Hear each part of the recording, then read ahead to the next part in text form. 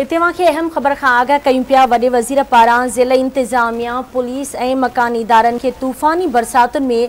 आवाम जो ख़्यालु रखण जी हिदायत कई वई आहे मकानी इदारा ऐं वॉटरबोट برسات بند थियणु शर्त ई पाणी जे नेकाल खे यकीनी बणाए वॾे वज़ीर हिदायत कई आहे त गुज़िरियल स्पैल वांगुरु हेठें वारनि में पंप लॻाए पाणी नेकाल कयो ट्रैफ़िक पुलिस ट्रैफ़िक जी रवानी लाइ ज़रूरी क़दम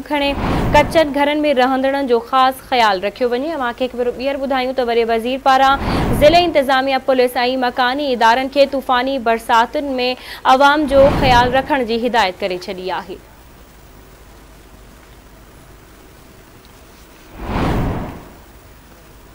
एक भेरों ॿीहर तव्हांखे आगाह कयूं पिया वे वज़ीर पारां जिले इंतजामिया पुलिस मकानी इदारनि के तूफ़ानी बरसात में आवाम जो ख्याल रखने की हिदायत कई वही है मकानी इदारा वाटर बोर्ड बरसात बंद थियण शर्त पानी के निकाल के